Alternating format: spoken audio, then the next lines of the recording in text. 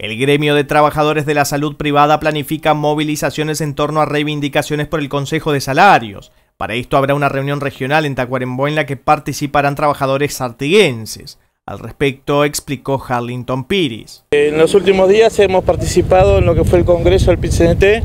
así fuimos por la Federación Uruguaya de la Salud, donde tuvimos algunas informaciones donde se empiezan a planificar lo que son algunas movilizaciones a nivel de lo que es la salud privada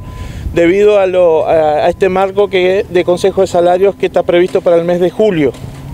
Eh, en ese marco eh, tenemos para una regional norte para el día martes 26, el 26 de junio, en el cual allí en Tacuarembó nos vamos a reunir toda la zona norte para ver y planificar las movilizaciones que se van a plantear en ese marco. La Federación de Funcionarios de Salud Pública no tiene representatividad en la nueva directiva del PIT-CNT.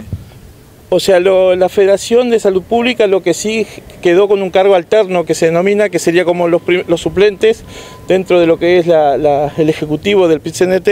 que es el compañero Martín Pereira, en el cual va a alternar en aquellos momentos que, alguno de los 13 miembros titulares eh, no comparezcan en lo que es la, orgánica del PIT-CNT. ¿Cómo se sienten ustedes con esta nueva conformación del PIT-CNT con tres cargos importantes? nosotros entendemos que ha sido un congreso en el cual lo que ha prevalecido la unidad en el conjunto de los trabajadores, más allá del área que estemos cada uno de nosotros, creo que eso es lo, bueno. Eh, a nivel de la dirigencia, eh, los compañeros que, han estado, como el compañero Pereira, Abdala y López, eh, nos parece que, son los representantes que que deberían estar por naturaleza hoy por hoy en, cómo nos vamos manejando a nivel de lo que son la, lucha de los trabajadores. ¿Cómo vienen los contactos con este nuevo gobierno? Bueno, el día de ayer la FUS tuvo un, contacto con el gobierno previendo que ahora el 30 de junio se finaliza el, convenio colectivo que tenemos y a partir del 1 de julio estaría por parte del Ejecutivo el aumento de cuotas cosa que nosotros entendemos como finaliza nuestro convenio el 30 de junio, estaríamos ya para esa fecha sin un convenio vigente. Lo que estamos reclamando y solicitando al Ejecutivo es que